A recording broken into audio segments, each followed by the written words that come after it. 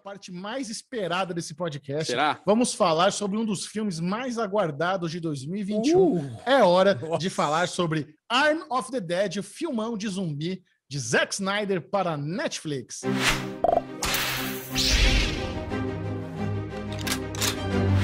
nossa! Boca Agora, eu quero começar, eu quero começar falando uma coisa.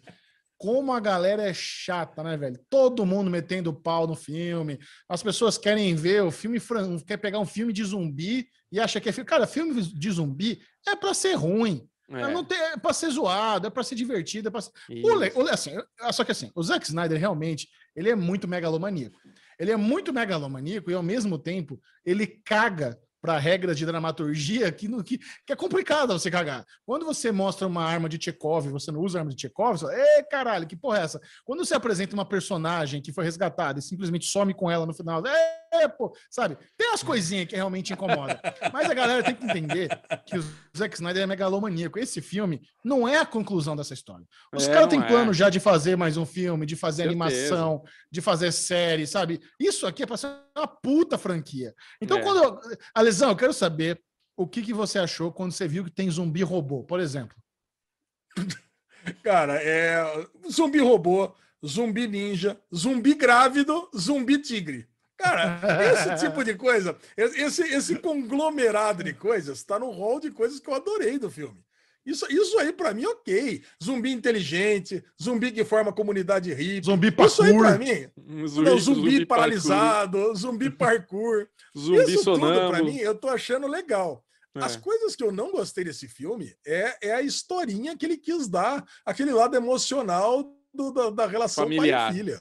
Era aquilo que não precisava fazer. É, cara, é, é- é esse lado que o Zack Snyder pecou. Tinha que ter nada daquilo, cara, sabe? Aquela- entra lá, forma um grupo de gente canalha que tá atrás do dinheiro, entra ali, vai morrendo um a um e acabou. Cara, não dá, sabe? Pra ter. Ah, agora vamos. tá no meio do zumbi vai cair uma bomba atômica na porra. Agora eu vou decidir reataca a minha filha. Isso aí é família Mitchell, é outro filme, já foi. Filha, pai com filha já foi, Netflix. Agora vamos botar pra quebrar. Eu quero tigrão mordendo o pescoço e arrancando a cabeça das pessoas. é isso que Caralho, eu quero. aquele- a Cara, não- cena do tigre foi muito foda, cara. Foi muito foda. Foi muito foda. É. Não, realmente, é, é- Mas assim, é isso.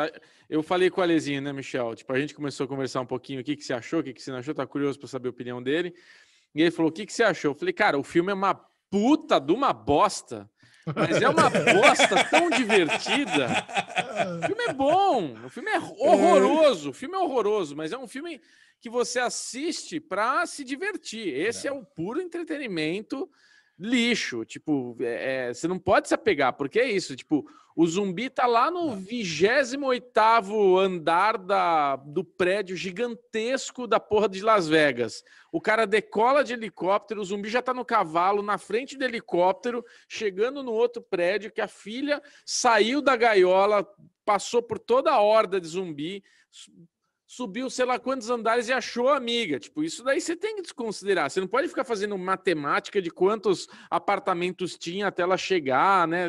Esquece isso, esquece. Se divirta, porque é isso, é muito incoerente tudo no filme. Mas é um filme bagaceiro.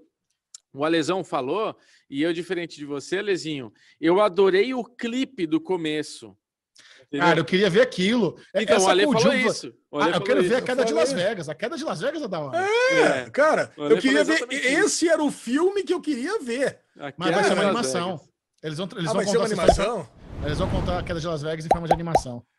Ah, tá sabendo cara, disso? puta, Uhum. não, Olha. Pô, isso, esse, mas isso ia ser muito legal, cara. Porra, o que você pega, você tem Las Vegas, o pessoal jogando, você entrando ali, destruindo. Porque como é que pode ter ficado tão destruído daquele jeito, né? Tem que ter passado anos para ter ficado Imagina. tão destruído daquele jeito. Um tá dia louco. resolveu. Rapidinho. Um dia resolveu. Rapidinho já era. Não, é muito-